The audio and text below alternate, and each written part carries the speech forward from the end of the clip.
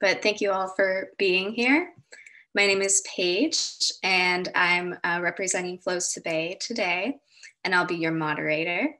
And on behalf of Flows to Bay and our presenter, IPM advocate Charlotte Canner, I'd like to extend a hearty welcome to everyone who's joining us. We're really glad and excited that you're here with us this morning. So, a little bit about Flows to Bay, if you don't already know what we are. um, so, we are um, hosting this today. Uh, Flows to Bay is a short term that we're using for a longer term, just because it's um, at least a little easier to remember for folks. But our actual name of our program is the San Mateo Countywide Water Pollution Prevention Program.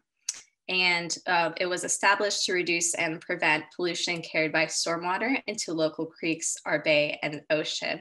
And we really encourage residents to reduce their pesticide usage and opt for less toxic options when working in your garden or dealing with pests. And that's really why this topic today for this webinar is really important to us because there's a lot of less toxic practices that you could implement that aren't harming our waterways. And there's actually a lot of things that we may be doing that we don't know have an effect on our waterways. So that's why we love this topic, and that's why we're here today to discuss it. Okay, and the program aims to educate the community and do what we can to prevent stormwater pollution. And so we really work with residents, businesses, and schools and really get the word out about watershed protection and all the actions that we could do to help our watersheds. So, what's a watershed? It sounds like a very big word, but it's actually really important. And it's the land that water flows over or through um, on its way to a body of water, like a creek, our San Francisco Bay, or our Pacific Ocean. And we know San Mateo County is really unique in the way that we have so many bodies of water and so many different types of bodies of water around us. So it's kind of like a funnel. So that water is traveling across the land and it carries whatever is with it to those nearby waterways. Um, and I'll go into why that's really important. But we all live in a watershed. Every part of this land is a watershed. And so everything that happens to that watershed, the, the water flows over to those local water bodies, and then that could affect the water quality. And that affects, you know, there's animals living in the water and um, it could be fish and birds and other living things that really depend on that water to be healthy. And also, us humans might may be in those bodies of water, and so whatever quality of water um, is the like the health of it could really affect our health as well. So storm drains. Uh, we really care a lot about the health of our storm drains a lot. And if you don't know already, San Mateo County has a separate sewer and storm drain system. So this means that again, anything that flows over our land and then flows into um, the nearby storm drain goes directly into our water bodies untreated. So there's no like filtration or cleaning process. It's just whatever maybe flows over your lawn will like go to the sidewalk and then goes into the storm drain. And there's not that process that cleans it. But internal plumbing inside our homes enters the sewer system and gets piped through a wastewater treatment plant. And that is the water that does get treated and cleaned. And there are municipalities that have a combined drainage system, like our neighbors in San Francisco. Uh, but again, San Mateo County, we have these separate systems, and most municipalities go through that way as well. So this means that any of the water that we use to maybe irrigate our lawns or for like our sprinkler systems and also all the wonderful water that we have coming uh, from rain that travels around our hard surfaces and then it picks up whatever um, it comes across along the way and then that just goes directly into our storm drain and then goes through our creeks and the san francisco bay and ocean and again it doesn't have that cleaning process that a sewer system does so that means um, certain uh, things that are carried by that water can become stormwater pollution. And that's where we're really concerned about and the different actions that we can do to prevent that. So different types of stormwater pollution include pet waste, automobile fluids, and emissions. And other sources of pollution could be litter on the ground, chemicals um, used in soaps for car washing, and pesticides and fertilizers. So things that you are treating your plants with really can get carried with the water as well. And as we know, all these pollutants will eventually end up in our waterways.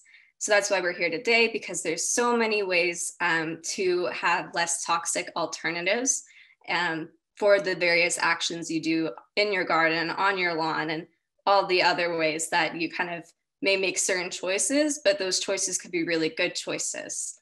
And it's all learning experience. And I'm, I've learned so much from Charlotte, and that's why I'm really excited she's here today because I'm excited about what I can do in my garden for the spring and knowing all the ways I can really prevent stormwater pollution. So with that, I want to introduce Charlotte. Uh, she is an integrated pest management advocate in association with Our Water, Our World. So Charlotte, take it away. Thank you, Paige. Uh, thanks for that great introduction. Um, and thank you everyone for being here today. Um, I also want to say happy first day of spring. Um, what a wonderful thing to do on our first day of spring, talk about preparing our gardens, because I'm sure you're all very anxious to get your hands dirty. Um, and it looks like a beautiful day today, so hopefully later y'all get to practice some of what we talk about today. Um, so as Paige said, I am an integrated pest management advocate. Um, I work in partnership with Flows to Bay and the Our Water, Our World program in San Mateo County, and I also work in several other counties in the Bay Area.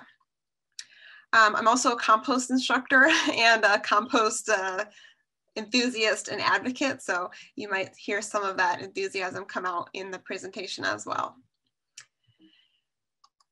Um, so what we're going to learn today is what integrated pest management is and how we can apply it in our gardens and our homes. Um, why working with an IPM approach is going to automatically lead to less pests. We're going to cover some spring gardening tips. And at the end, we will talk about some aphids, uh, some, some seasonal uh, uh, pest issues like aphids, weeds, and some fungal diseases. Um, I'm going to talk for about an hour. There will be um, a couple breaks here and there for a poll, um, some polls and questions. Um, and then of course at the end, we'll open it up to just general Q&A. So first a little bit about our Water, Our World. Um, it's a program designed to, to designed to sorry, excuse me, I'm just gonna warm up here. Um, it's a program designed to bring awareness uh, between pesticides and water quality, something that Paige already touched on. Um, and we're gonna, we also provide pest problem solving education. You can find our water materials in over 200 hardware st stores and nurseries in 23 counties in California. And in these stores, what you'll see is the fact sheet, that's um, the photo on the left those um, that rack of fact sheets about about 18 different kinds of um, pests or just general issues like lawns and roses, which are of course free for you to take.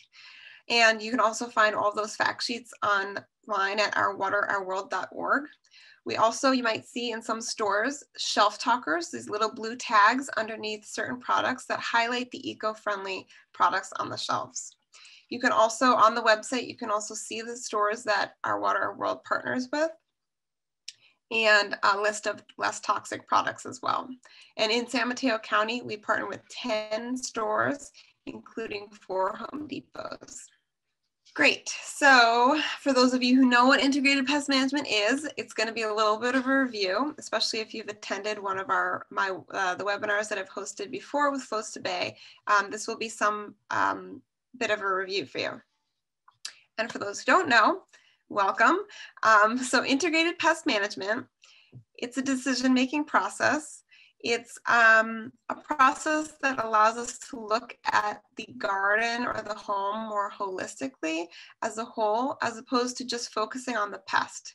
So it asks a lot of questions too. Um, we have to figure out what really is the problem because a lot of times we'll see um, something, a symptom like leaf damage, and we're gonna, we need to know what's going on there. There's a lot of different things that could happen. So really need to identify the problem. So first, what is uh, the problem at hand? Is it um, an abiotic disorder, which is something like irregular fertilizing or irregular watering problems, or is it a pest? And then what is the pest? We really need to identify what we're actually targeting. We're going to then decide, can we live with it? Um, maybe we can let some things, um, you know, some things are short-lived so maybe we and they're just a nuisance so we can just let them be and then let them let them go. We don't have to take any actions. But if there are pests that are causing a lot of damage we might want to take some actions. And what we're going to take um, in ipm they're called controls. Um, so we have four different kinds of controls. Cultural controls are really about bolstering the health of the garden and we're going to touch on what that means a little bit later. Mechanical controls um, are the physical tools and barriers that we can use in the garden. Biological controls are inviting in the beneficial insects and really creating balance in our gardens. And then chemical controls um, are pesticides and they're always a last resort um, in IPM. We're gonna exhaust all of the other options. And then if we really need to resort to chemical control, we're gonna choose the least toxic as possible and use as little as possible.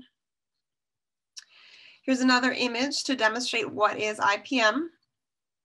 Um, now you'll see that prevention is listed as number three, though I do put prevention as first, the first step in IPM because there's a lot of things, it's really the foundation um, of IPM and there's a lot of things we can do in the garden and in our homes before pests even arrive that will just eliminate all the hassle of pests um, and will prevent them from even coming or causing problems in our garden.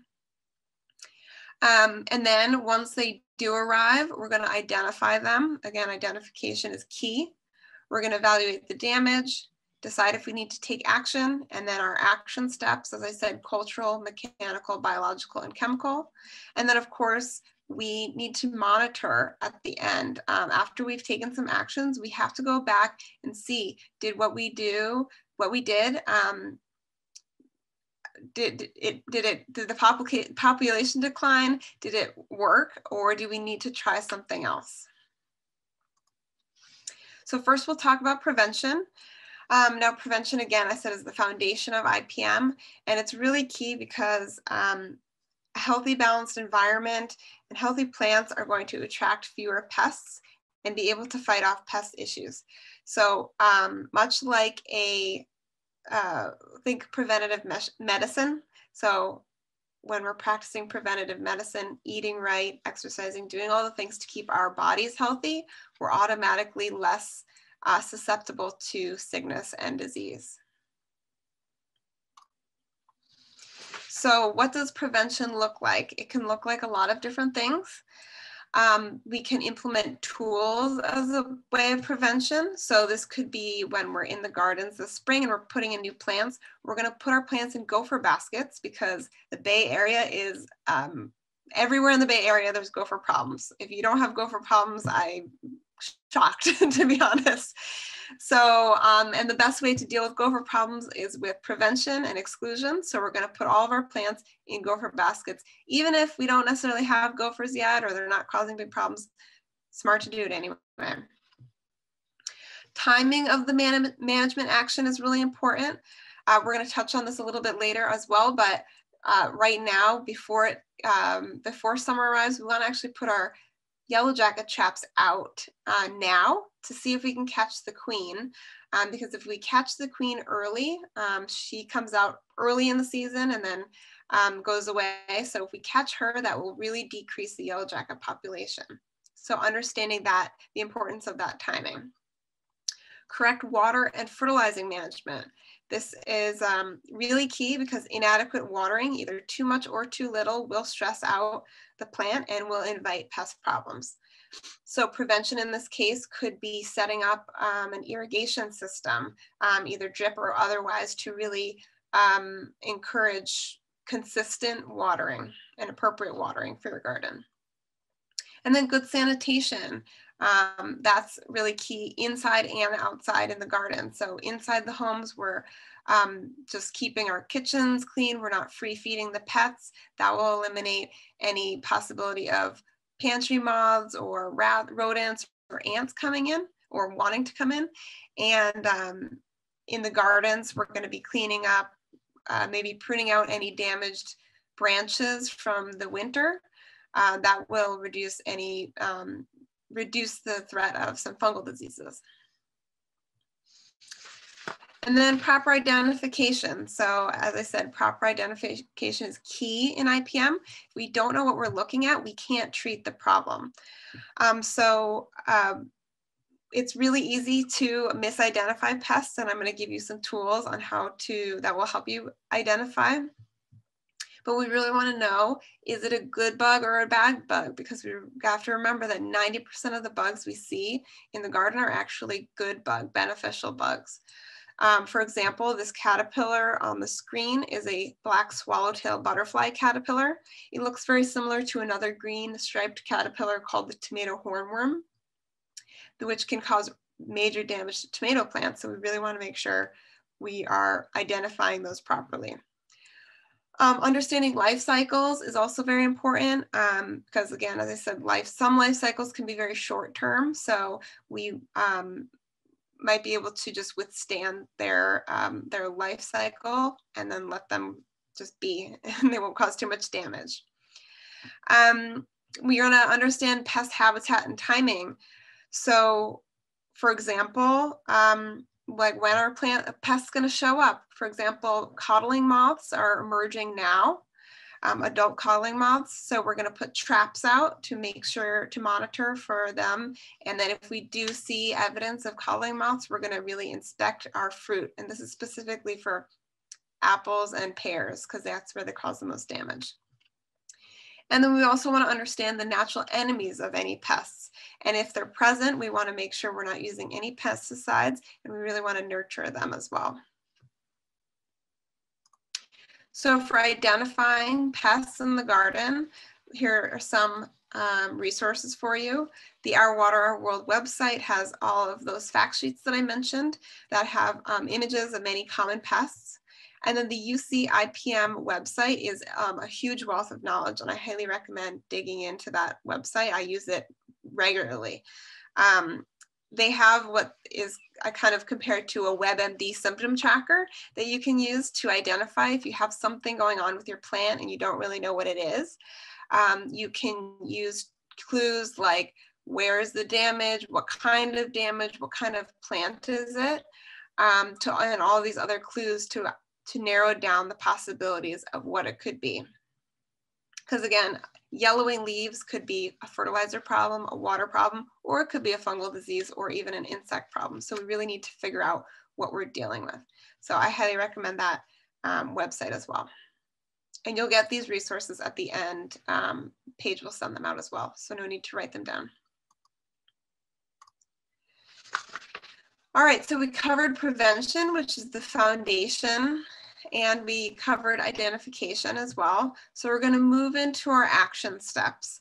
And this pyramid I just wanted to share with you because it really shows the progression of how we take our actions in IPM. So we start with prevention as a foundation, and then we're going to move to control, uh, cultural controls, excuse me. And cultural controls is really similar um, to prevention. It's just bolstering the health of the garden and doing a lot of things that we do anyway um, that will prevent pest problems because healthy gardens, healthy plants will lead to less pest problems. And cultural controls, just to elaborate a little, is also more about changing the environment so that your plants, um, changing the environment for your plants to be very successful and so that the pests will be less successful and we'll talk about those methods. So first thing I would recommend, as I said, I love compost. So add compost, use compost in your garden. Um, it has so many wonderful benefits. Um, it improves the soil structure. It uh, so if you have sandy soil, you can add compost to your soil to really glue those big sandy particles together. If you have clay soil, you can add compost to really break the particles up and allow for better water infiltration. Improving your soil structure will lead to more uh, water holding capacity. Um, compost can hold five times its weight in water. So this is really important when we're thinking about the warmer months coming. We really wanna add compost and increase our water holding capacity, absorb that moisture that's in the soil now from the winter months um, and really keep it there. Compost also increases the health of the soil and the plants. It inoculates the soil with really good bacteria and fungi, which we absolutely need in our soil, and it adds nutrients for those organisms to eat and to feed your plants. Um, I did just learn that uh, when you're plantings, which I know a lot of you are intending to do soon, it's actually a good idea to add compost to your soil about two weeks before you start planting. Um, I think this is just to build up the soil organisms in the soil and really get your soil prepared for those plants. And as I said, um, bacteria and fungi are key in the garden. Um, your plants cannot survive if your soil is not living. And so you, we add compost to increase the life in the soil. And we really want to nurture that life in the soil. Um, again, your plants need these soil organisms to live. It's just like your, your gut microbiome. So think about all the bacteria that lives in your stomach and it you can't digest food without that bacteria. It's exactly the same in the soil. Your the soil organisms are breaking down the nutrients from the fertilizer and the compost, and they're feeding it to the plants um, uh, when the plant wants it, which is really important. So we're going to nurture that bacteria and fungi by adding compost, using organic fertilizers, and not using pesticides because pesticides can kill um, that good bacteria and fungi. And we want to switch to organic fertilizers or use organic fertilizers, maybe not switching. But um, so synthetic fertilizers tend to be very high in salts. So over time, using those can increase the sodium levels the salt levels in your soil, which will lead to less water holding ability and just lessen your plant's ability to uptake water. Um, synthetics also um, act kind of like steroids or Red Bull, I like to say, for your plants. They inject your plants with a lot of energy uh, really quickly. So your plant grows really fast, but it's not a stable, steady kind of growth. It's fast, and then there's kind of, you know, a sugar crash. Um, they're stressed out, they're not really prepared for that kind of growth. Um, so what we want to do is we want to switch to an organic fertilizer organics usually say organic on the on the bag or they have an omri label that you can see it on the all-purpose box right there o-m-r-i omri is a good sign that it's going to be um, certified organic. And what organic fertilizers do is that they still they feed your plant they help your plant grow but they're going to help your plant grow at the speed that it is ready to and is and it wants to grow so um, the difference I like to explain is that organic fertilizers actually are feeding the soil and the soil organisms. And like I said, they're going to feed the soil organisms and the soil organisms are going to feed your plant at the rate that your plant wants it. Whereas synthetic fertilizers feed the plant in more of like an injection kind of force feeding kind of way. Another reason to use organics is that they're not going to run off into local waterways. When synthetics build up in waterways, it can cause problems like algae blooms and very toxic environments. Um, and they also have also, you can't, it's really difficult to over fertilize with organic fertilizers because again, you're really feeding the soil and not the plants, whereas you can over fertilize your plants with synthetics. And then mulch. Mulch is another cultural control that we're going to use in the garden. It's just a beautiful way to increase the health of the garden. It protects the soil. Oh, and I just wanted to say that when I'm referring to mulch, mulch is really anything covering the soil. And it can be made of lots of different things. It can be made of rubber, oyster shells, cardboard, straw. Um, when I'm, but I think I recommend using organic mulches like wood chips, bark, straw. Those kind of mulches will just provide you the most benefits. There are some benefits to the others, but overall you're gonna get the most benefits from using um, like a bark or a wood chip. Um, so mulch protects the soil. It's like a nice blanket layer for your soil, which keeps water in, it prevents evaporation. It keeps the soil cool in the summer, which is going to be important. You really want those roots to have uh, more of a, a moderate temperature instead of like cold in the winter, warm in the hot in the summer. We really want to moderate the temperature of the soil. Um, it also, as these organic mulches break down, they feed the soil organisms. Um, it can be used as a weed control as well because that nice thick layer of mulch on top is going to prevent the weeds from germinating. It creates habitat for beneficial insects like ladybugs. And again, it, as that protective layer, it's going to reduce soil compaction and erosion. So it'll keep uh, the um, soil in place and it'll allow water to infiltrate really well. One note, if you do get like a big um, uh, delivery of mulch this spring, uh, you do and you don't use it in one day, you want to tarp your mulch piles to really keep the mulch from blowing off onto the street and again getting into the sewers. We don't want them getting into the storm drains on the street. Um, like Paige said, is all that debris will build up and we don't want, we want to keep that out of the, the waterways. Now, cultural controls also include just choosing the right plant, right plant, right place. It's a, for one of the first things I learned in gardening.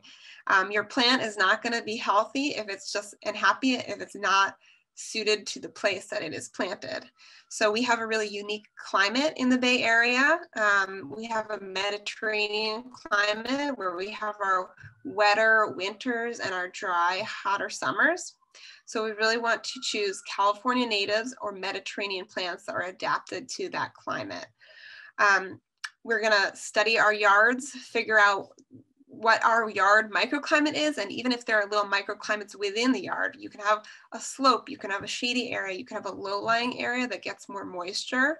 Uh, you wanna really be conscious of the different areas um, of your yard before you just stick plants wherever. You wanna match those plants to the conditions of the yard. Um, because again, if they're going to be happy in that spot. They're going to be automatically more healthy. They're going to be less stressed and less susceptible to pests. And there's also lots of pest and disease resistant varieties. You can always ask your local nurseries about those. And to review, just more things to consider when you're picking out your plants. You're going to study your garden's microclimates. How much space do you have? Remember that plants get bigger, hopefully, um, after you plant them. And so you really want to make sure that you're giving them enough space to grow in, um, in the space that you put them in. Um, what is the topography? Is it sloping? Uh, you really want to be aware of that when you are planting. And how do you intend to use the space? Again, if you plant a tree right in the middle of the yard, it's hopefully going to get bigger and it might, um, you know, get in the way of some other thing that you wanted to do in the yard as well. Also, another thing that we forget to ask ourselves when we're planting these big, beautiful gardens, um, who's maintaining the garden? That's something to remember. You are going to intend on doing it yourself. Maybe you want to start small, depending on, you know, how much time and energy you have. Um, but if you're going to hire a crew, maybe you can go big. Just something to keep in mind when you are at the nursery. And then remember, um, every plant at the nursery has a little tag that comes with it that will talk about the sun uh, needs, the water needs. It might even talk about if it likes sandy or clay soil. Um, those are all things to keep in mind when you're buying. And then to further help you in your plant choices, here's a few plant lists that I'm also going to supply for you after, um, after the presentation. So you don't need to write down the links, but the BAWSCA plant list has um, lists broken down by categories. You can find lawn substitutes, ground cover, uh, pollinator plants. Uh, the Yerba Buena California Native Plant Society has um, native plants. And then the UC Arboretum All-Stars has a nice searchable database so you can really find out um, you know, trees or shrubs or whatever you're really looking for that will be suitable for your area. And then lastly, in the cultural controls, we're also thinking about water. Um, so water, uh, improper watering leads to stressed plants and that leads to pest issues. So we really wanna make sure we're watering properly. And the best way to water is deeply and infrequently. So um, we're not watering our plants a little bit every day. That will lead to shallow roots um, and quick evaporation. We really want to give our plants deep watering, especially if they're new. Um, that when, when they're getting established, they really need that deep watering to draw those roots down deep into the soil to really establish a sturdy, hardy plant. And for most plants, we want to make sure that the top of the soil dries out between watering. So the top inch, inch I'd say one to three inches, depending on the size of the plant, um, should dry out between waterings because we don't want them sitting in water as well. And related to what we were talking about before, studying the microclimates of your yard, you also want to plant your plants together that have the same needs. So especially your water needs. So you're going to put your, your lawn and your heavy water need um, plants together. Maybe you'll put your succulents and your more dry tolerant uh, plants together as well. And then think about, again, sun, shade, wind, heat, all of these things contribute to microclimates and what your plants need. And if you're interested, um, a really wonderful way to offer your garden consistent, uh, regular water is to set up an irrigation system. And they don't need to be drip irrigation systems, but drip irrigation systems will be the most efficient method um, of watering. So the drip lines have little emitters on them. They sit directly on the soil. And so the water goes just directly into the soil. We're not spraying around. Um, the water isn't flying around like um, with a sprinkler. Uh, so the water is just going directly into the soil. That will lead to uh, better water efficiency, also less weeds because the water isn't going where you don't want it to go. It's just going directly to those plants that you want to go to. And you can set the timer for early in the morning to water when the air and soil are cooler. Also, you can set it for multiple times. So um, depending on the soil type you have, you might need to water uh, maybe three times for a shorter amount of time in one morning chunk. Um, remembering that drip irrigation systems are not set it and forget it. So right now for spring, you might have changed your irrigation to either turned it off or um, eliminated some of the waterings for the winter time. But right now we're gonna wanna maybe as it gets, there's more sunlight, it gets warmer, we might want to increase our waterings again. Um, again, checking though, you wanna check between waterings to make sure that the water, the soil is drying out. And we're also checking, especially if you're turning it back on after the winter season, check your system for leaks. Um, make sure all the emitters are working properly and they're not spraying all over the place.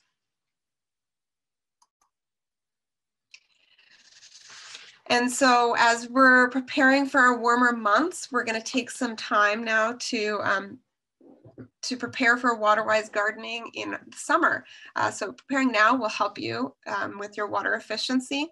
You can add mulch. Again, mulch, compost, all these things are going to help you have a water-wise garden. Um, installing a drip irrigation or any kind of irrigation system, really, whatever works for you.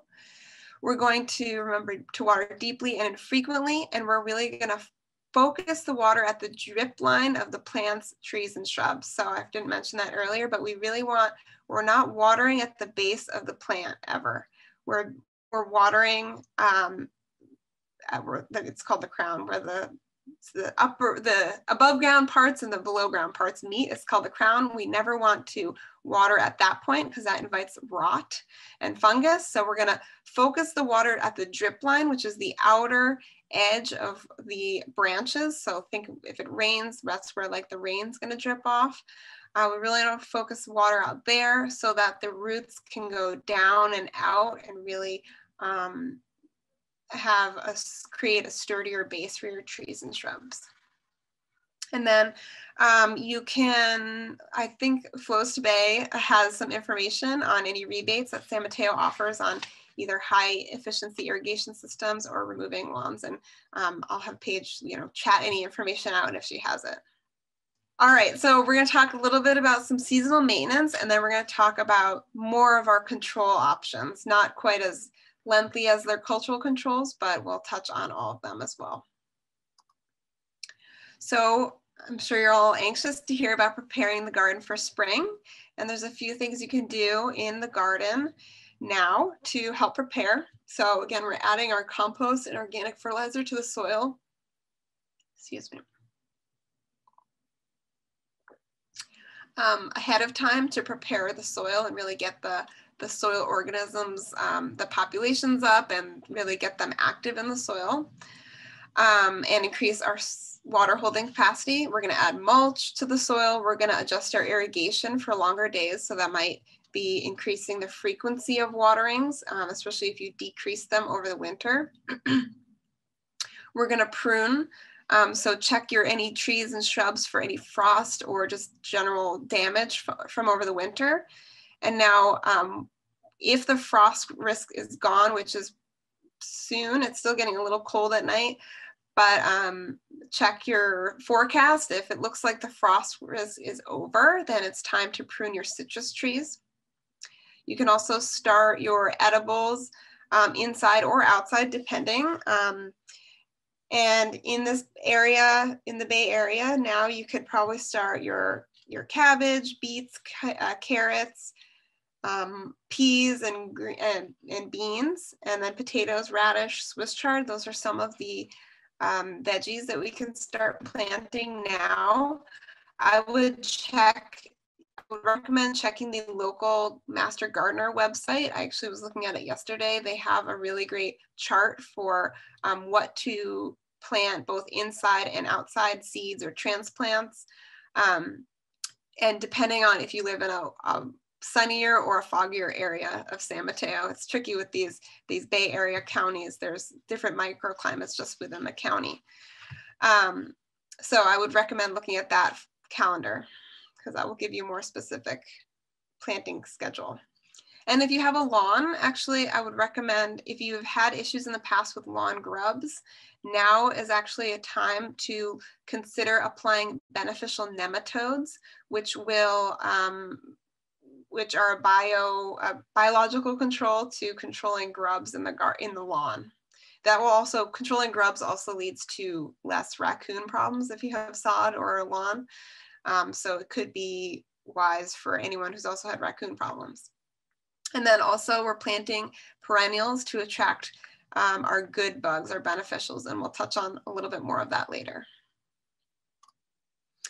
So we're going to talk quickly about our mechanical controls. Our, these are our physical tools and barriers that we can use in the garden.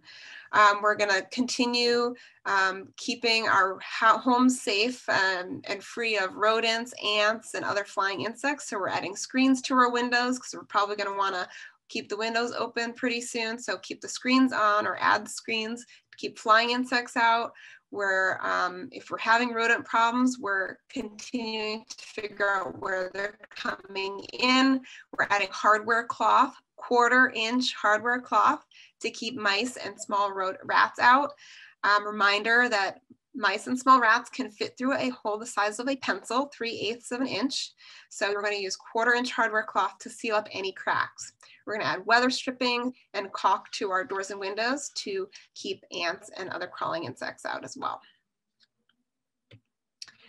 And in the garden, we're gonna work with barriers. Um, we're gonna add row cover to our freshly planted kale and cabbage to prevent our cabbage moth butterfly or cabbage moth from landing and laying eggs and um, keeping those cabbage moth caterpillars out of our brassicas because they are voracious and they're, I don't know, I, I hate them. They're, they eat all my plants. So I'm pro row cover in this situation.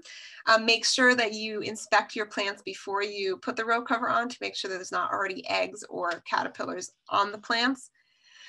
Um, and then we could use bird netting to keep the birds off of our fruit trees. It's a great time to use the bird netting now um, when the trees are still a little smaller and the fruit's not ready yet. So get it on now. That should also keep some squirrels out. Again, we're using gopher baskets. If you live in a deer prone area, you could put up an eight foot deer fence. And then you could also use copper tape to keep snails and slugs out as well. And that little strawberry basket is just an example of another barrier.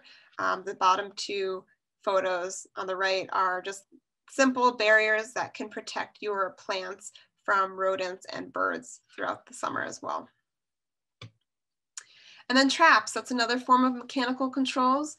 We're using sticky insect traps, fly and yellow jacket traps. Remember, put your yellow jacket traps out now to hopefully catch the queen. And then if you catch her, that will mean that the yellow jacket population will decrease um, a lot. Uh, we're going to use consider gopher traps. If you do have gopher problems, they're a little tricky, but um, they are effective. If you have more rodent, rodent problems, rat and mouse traps, and you can also create snail and slug traps as well. These are all non-toxic pest management um, options for you. And then moving on to our biological controls, we're going to bring in the beneficials and we're gonna focus on the three Ps, our pollinators, our predators, and our parasitic insects. So our pollinators are like bees and butterflies.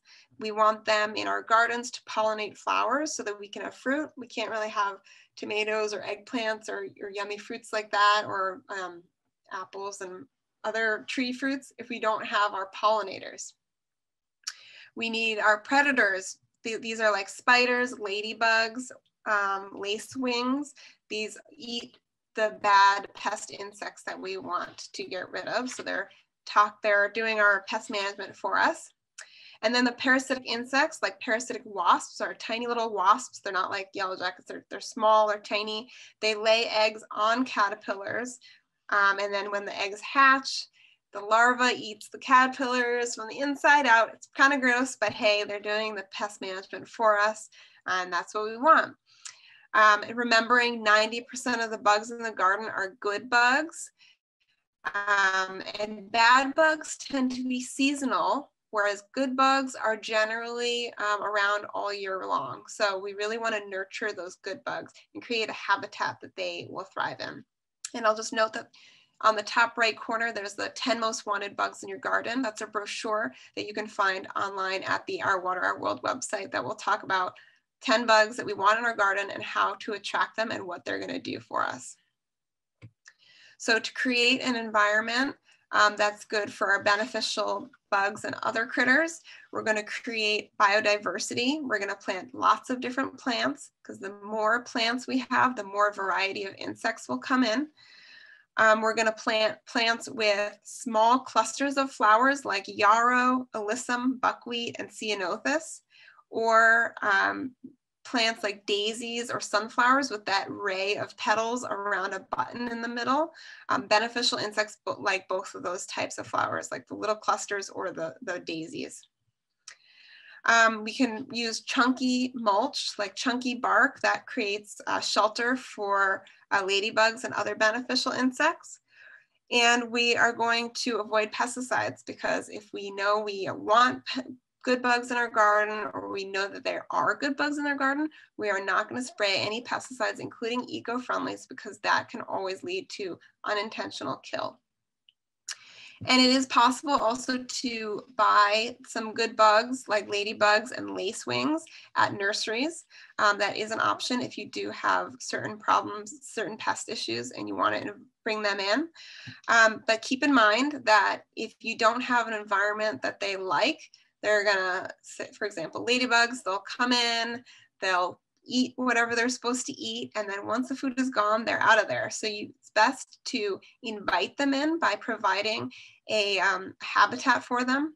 Also, if you do want to help them, I've learned that you can spray like a mixture of like a sugar water mix on some flowers that will really attract them as well. Um, and then birds. Birds are also another form of biological control. 90% of birds eat bugs at some point in their life.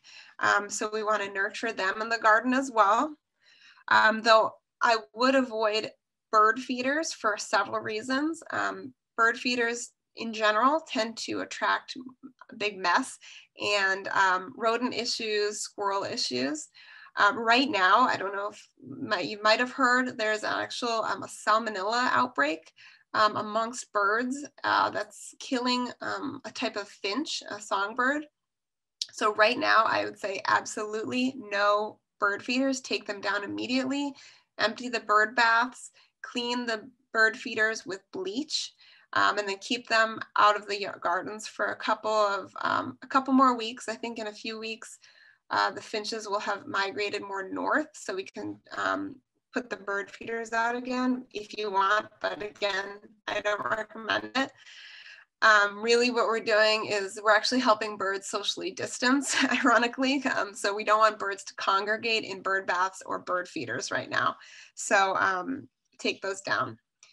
Um, and then also in, in, normal times, we want to let our um, plants go to seed because birds like to eat those seeds and they'll use that uh, dead material for their nests as well. And then more about biological controls. They're not just um, bugs and birds.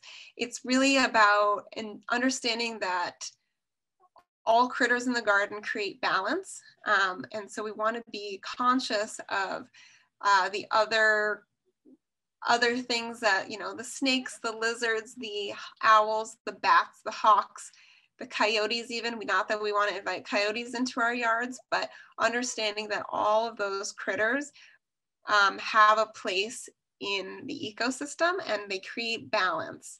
Um, so we just want to be aware of that when we're working in our gardens. And lastly, we'll talk about uh, chemical controls. So again, they're always a last resort. That's why we're talking about them last. And uh, uh, we're going to try to use all those other options that we talked about before we resort to our chemical controls.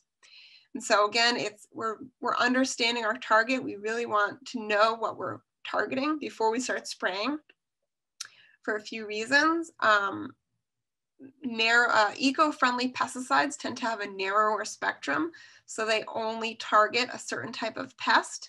And that's what we want because we don't want that accidental secondary kill of another um, critter. So we really want to choose a narrow spectrum eco-friendlies.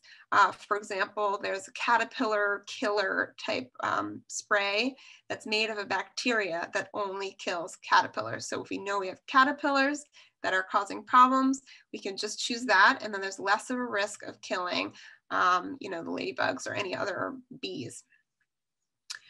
Um, and then uh, we're going to read the label. The label is the law. I I'm going to say it again. The label is the law. So you have to read the label. If the pest that you're trying to target is not on that label, then you cannot use that pesticide.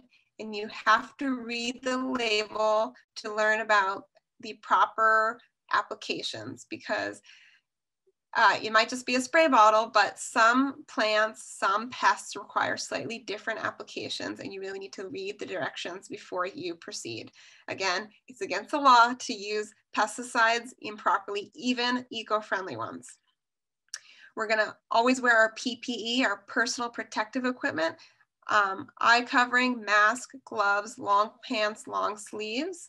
Um, even eco-friendly products are designed to kill something, so therefore they could cause irritation, um, eye, lung, nose, um, uh, skin irritation, all of those are risks even with eco-friendlies. Um, and we're going to take advantage of the dormant season. It's a little late for that right now. We could talk about that in the fall, um, but thinking about certain pest problems you might have now. So if you have aphids, scale, peach leaf curl right now, next November, you might want to consider looking into dormant spraying because it's the only, it's the one time we're going to use pesticides as a preventative and we can tackle some of those fungal and insect diseases during the dormant season before they even arrive. Um, and um, on that note, if you do have peach leaf curl on your peaches or nectarines right now, unfortunately, it's too late. So uh, it's too late to do anything except to remove the leaves. But don't worry, your your fruit trees should be okay. Um, but consider dormant spraying next time. So dormant spraying is good because in the dorm in the winter months, um, the beneficial insects are less active. And some more tips for using our products. We're going to remember that less toxic products might take a little bit longer, so be patient. For example, when you, you use an ant bait station versus a spray, um, the bait stations do need a few days to work, but they are overall going to be more effective than a spray. Um, we're going to understand timing. So again, read those labels because the labels, you can see that um, bottle has a nice label there. They, usually come with a nice little booklet of information. Read it. Um, it'll help you understand when the best time to apply the pesticide is. We're going to spot treat only. We're only spraying where the pest is. The pest has to be present to spray. Um, the one exception is the dormant spraying, but we're not, we'll talk about that later uh, in November. And um, we're going to apply pesticides later in the day. So we're going to wait till the winds, the afternoon winds have died down. Um, the beneficial insects are less active in the evening. So we're going to wait till then to spray. And that will also give, um, with eco-friendlies, that gives the product time overnight to dry on the plant because as it dries in about 12 to 24 hours, it will be less toxic to um, any beneficials. And again, if you're releasing beneficials like ladybugs into the garden, you wanna make sure you're not spraying uh, any pesticides before or after they arrive. And um, related to what Paige was talking about at the beginning, we wanna make sure we're not um, putting anything down the storm drains and the sewers on our street. Also, um, to add on to what she was saying, we're never dumping pesticides down the drain in our in our homes. Pesticides are actually not removed from water at water treatment facilities. Uh, pesticides are very persistent in water and they're just very difficult to remove. So when you dump them down the drain, they might go to the treatment plant, but they can't be removed. That is synthetic fertilizer, uh, pesticides. Um, so we're always taking our products to the household hazardous waste collection facility. We're never dumping them down the drain. And the um, website is there for you to make an appointment. I think because of COVID, they're doing appointment only, um, but there are lots of appointments available um, and you can find where the locations at that website. All right, so now we're gonna look at some specific pests, um, aphids, weeds, and fungal diseases, um, how to deal with them if they arrive because this is the season. So aphids, this all I will say in the Bay Area, because of our temperate climate, aphids tend to be an all year round problem, but you might have um, a bigger issue uh, in the spring um, because aphids are attracted to new plant growth. Um, so aphids come in a variety of species. Um, they come in many different colors. There's red, brown, gray, uh, green, yellow. Um, so they could look wildly different. Some even have wings and some don't. Um, and different species like different plants. So you're gonna see, you might see aphids on, um, you know, your tomato plant uh, but don't worry about the plant next to it. If it's a different, if it's a different kind of, uh, if it's not a tomato, if it's like a kale, there are going to be different aphids on that. So you don't necessarily need to worry about one species jumping to another plant, um, unless they're the same kind of plant. Um, they are attracted to new plant growth, and we're going to keep that in mind when we uh, do our controls. And then remember that ants protect aphids. So aphids excrete, excrete this uh, material called honeydew. Um, it's like a sticky sweet material. That's a good hint. If you see that um, kind of, if your leaves are sticky, that's a usually good sign that aphids or some kind of sucking insect is on your plant. Ants like to harvest that honeydew. So ants will actually protect aphids from their natural predators, which are ladybugs, one of their many kinds, many predators, um, very commonly known ladybugs though. So we're gonna take all that information with us when we go to our controls. So because aphids are attracted to new growth, we again are not gonna use our synthetic fertilizers because when synthetic fertilizers are going to cause our plants to shoot out a lot of new growth all at once. We're going to use organic or slow release fertilizers. We're not going to over prune, so be very careful when you're pruning. If you over prune, pruning um, encourages um, uh, plant growth. So if you over prune again, you're going to have a lot of new growth and a stressed out plant. We're going to manage our ants because again, they will protect the aphids from uh, their natural predators. So we're going to use, um, say if you have aphids um, on a tree and that you can see ants crawling up the tree um, in a line. You're gonna take um, a material called either Tanglefoot or um, any kind of sticky insect glue. There's lots of lots of products out there. You're gonna wrap a piece of paper around the trunk and then we're gonna put the sticky glue on that piece of paper. We're not putting the glue ever on directly on top of on the tree trunk. A really simple and non-toxic way to manage aphids is to just spray the plant off with a strong stream of water. Um, again, uh, aphids are sucking insects, so their mouth parts are like straws. So when they're drinking from the plant, their mouth parts are kind of injected into the plant, either the stem or the leaves or wherever they're eating from. So when you spray them off with water, their body goes that way, but their mouth parts actually stay in the plant, so it kills them. It's kind of people have compared it to kind of like a tick when you pull off a tick. Um, so you're going to have to probably spray um, a lot, or, or, not a lot, but multiple times, uh, depending on the amount of aphids you have. Um, but it will knock back the population a lot. You can also just prune off, completely just prune off really infected branches. So if you have one branch that just has a ton of aphids on it, just clip it, put it in a trash bag, and, and throw it away.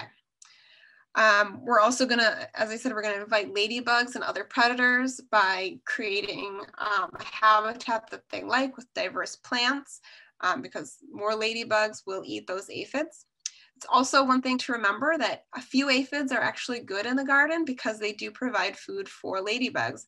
So if you've completely eradicated the aphid population, um, however you do that, um, you're actually taking away ladybugs uh, food and other predators food so they might leave your yard altogether. So again that's that's another way what reason we evaluate damage. If you know a couple of aphids on your plant they're not going to damage your plant too much maybe we can just tolerate them hope that the aphids keep them or the ladybugs keep the population in check.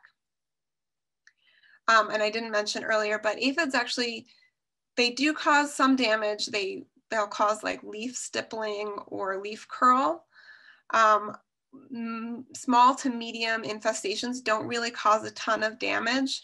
Uh, uh, to plants, it might slow the growth. It's really the large populations that you do need to be concerned about. Um, but again, it's not going to be cause like, it's not going to be devastating to your plant if it has some, a few aphids on it, um, especially if your plant's healthy. And then you can also, if you have tried all of those other things and you still have a pretty solid aphid population, you can consider um, insecticidal soaps or horticultural oils um, as a spray, um, remembering only spraying the where the aphids are, um, spraying in the evening and being very, um, being very careful with how much you're spraying. And then as I said, you can also consider dormant sprays in the winter time if you do have aphid problems, say on your roses right now, um, like and any other deciduous plants that you have, uh, maybe consider spraying an all seasons oil um, on your plant in the winter time next season.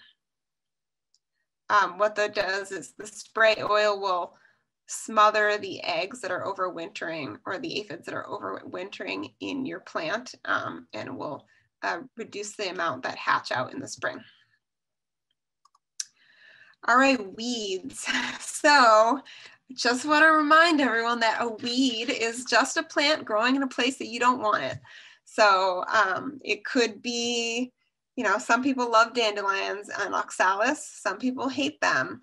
Um, a weed could also be, you know, a volunteer tomato plant that popped up in your strawberry patch because you used compost with tomato seeds in it. Um, in my yard, I actually have calla lilies that act like weeds. Gorgeous flowers. I didn't plant them. Uh, they just pop up in the winter. They could be considered weeds. I'll keep them around. I don't mind them too much, but if they get out of hand, I got to I got to deal with it. Um, so again, that's just perspective for you. It's just a plant that it's growing in a place you don't want it. Some weeds can be very invasive though, and they can overwhelm native plants and cause problems for um, wildlife and humans. So we do want to be conscious of that. We don't want to um, let them completely com overwhelm native uh, populations. it's really important when you're dealing with um, weeds, especially really tough ones, that you do understand how they grow and when they grow. It'll be more helpful for you when you're trying to remove them.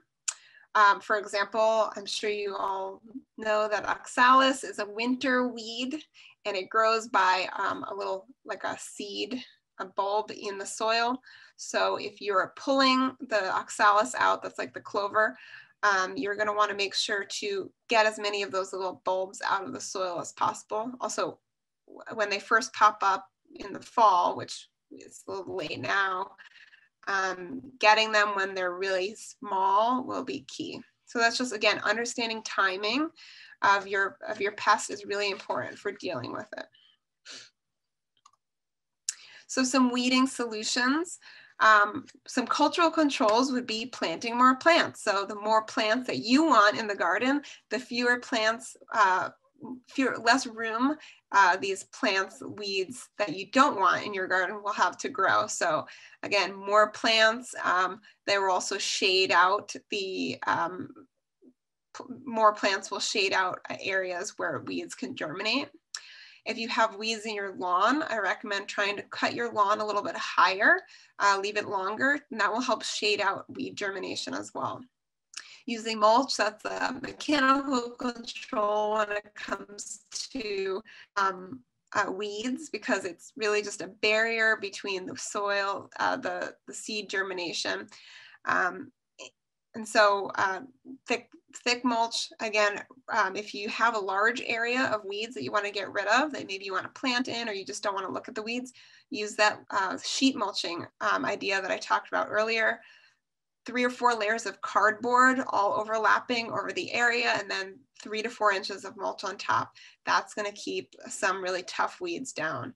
Um, I actually just did that in my yard last summer and I'm happy to say that most of that area does not have any oxalis in it, which is makes me very happy. Um, hand pulling using tools and weed whackers. Um, I hate to say this because I know it's not what people want to hear, but hand pulling and using tools is actually the most efficient uh, an effective way to deal with weeds. Uh, unfortunately, I know that people want a better answer, but you really do have to put in that physical effort to get rid of them. Now, a lot of weeds you can just hand pull.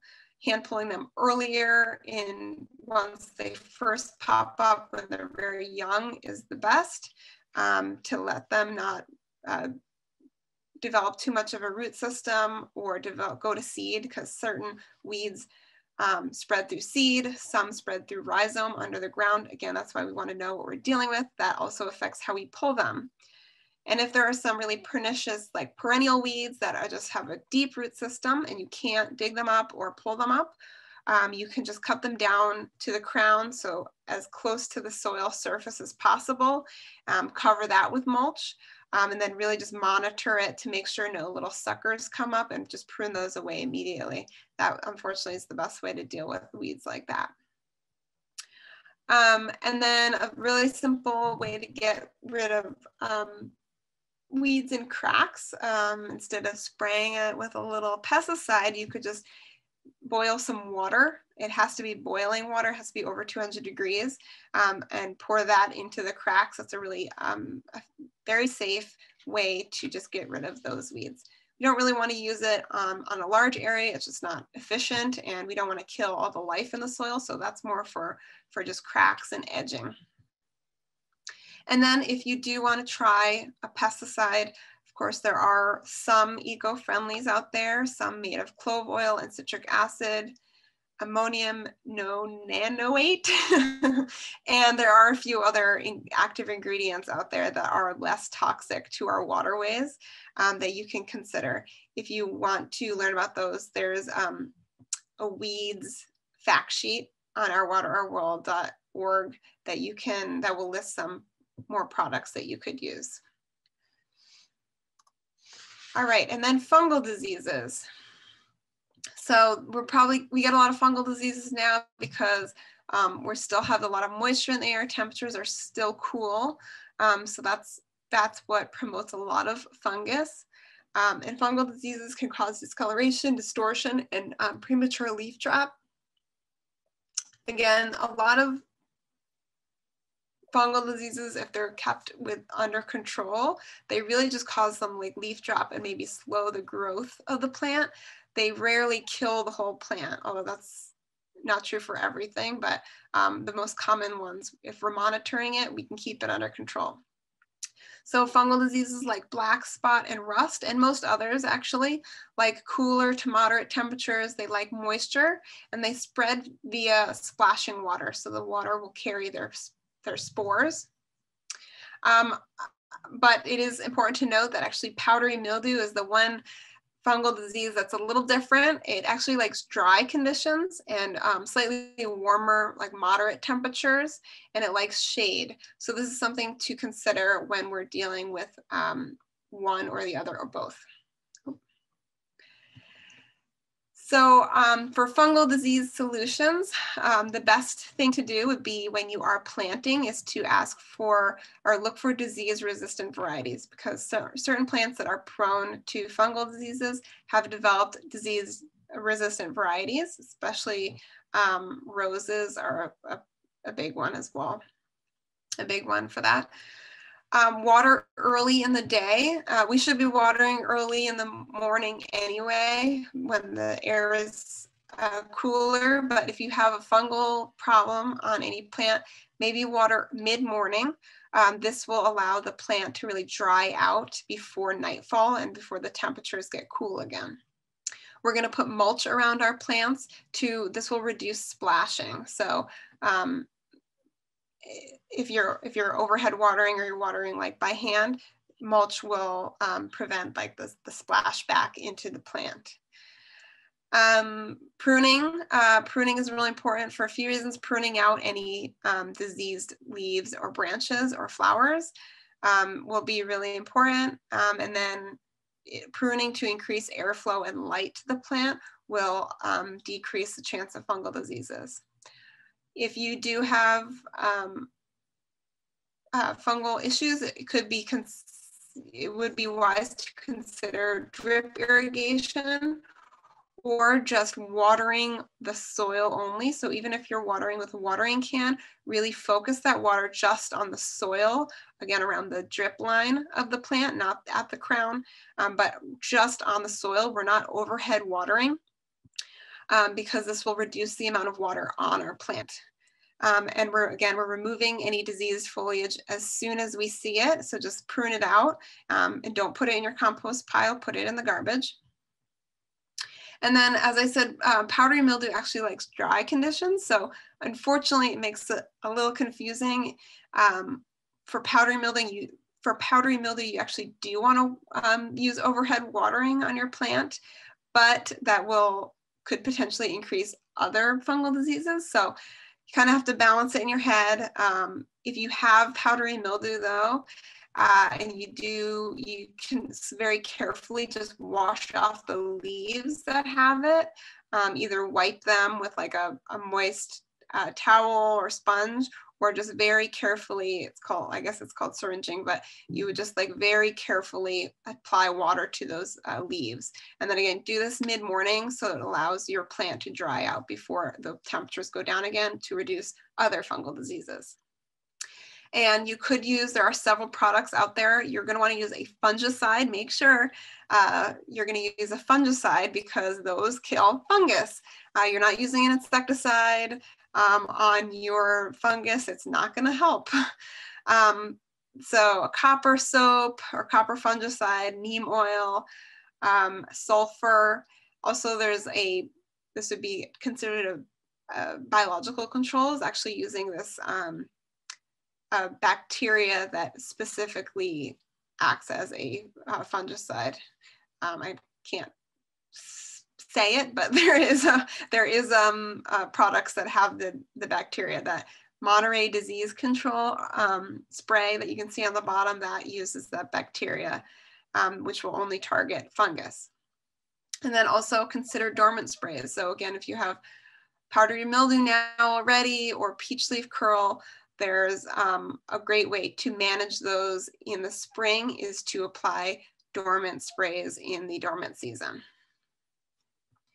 If you do continue to have questions in the future, you're welcome to contact Flows to Bay or you can contact me um, directly via email or Instagram.